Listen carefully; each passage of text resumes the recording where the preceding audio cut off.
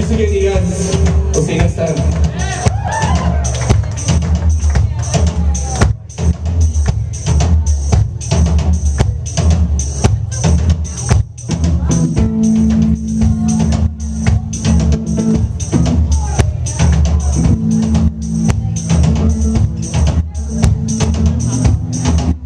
We got some uh, stuff for sale over there. Can come say hey after our set later on. We'll be over there. Thanks again.